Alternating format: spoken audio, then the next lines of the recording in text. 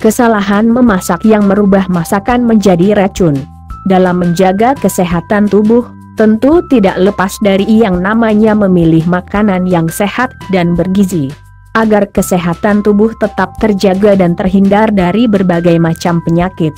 Berbicara tentang makanan yang sehat dan bergizi, tentu tidak lepas dari yang namanya bahan-bahan yang bergizi dan cara pengolahan yang benar. Mengapa cara pengolahan yang benar? Sebab kalau hanya bahan yang sehat dan bergizi, tapi kalau pengolahannya tidak benar, tentu kandungan gizinya akan hilang dan tidak menyehatkan lagi. Inilah yang sering terjadi pada sebagian orang. Tidak mau tahu bagaimana cara mengolah yang benar agar menyehatkan, tapi yang penting enak dan mengenyangkan.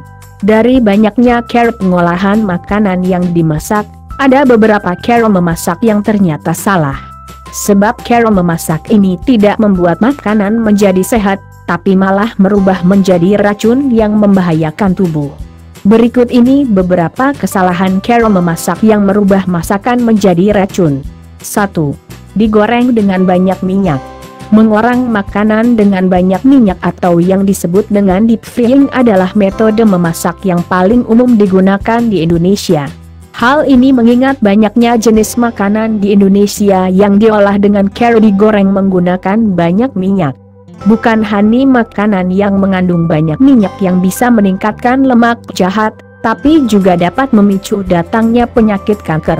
Sebab minyak yang banyak pasti membutuhkan api yang besar. Sehingga menimbulkan senyawa tertentu yang masuk pada maskaan yang digoreng tersebut. 2. Dibakar Makanan apa pun yang diolah dengan cara dibakar memang terlihat menggoda dan sangat enak. Apalagi sate. HMM, pasti sangatlah menggoda. Tapi tahukah Anda kalau ternyata makanan yang dibakar itu tidak menyehatkan dan bahkan beberapa kandungan yang ada dalam makan tersebut menjadi racun. Makanan yang teroksidasi dalam waktu yang sama yang bisa menyebabkan peradangan dalam tubuh sel kanker dalam tubuh akan tumbuh dengan subur jika banyak terjadi peradangan. 3.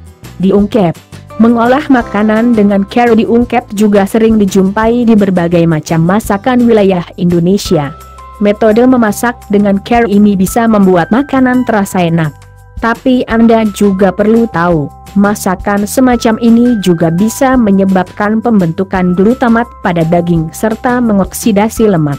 Itu artinya makanan yang Anda konsumsi hanya mengandung lemak saja, nutrisinya hilang. Demikianlah informasi tentang kesalahan memasak yang merubah masakan menjadi racun. Semoga informasi di atas bermanfaat. Terima kasih.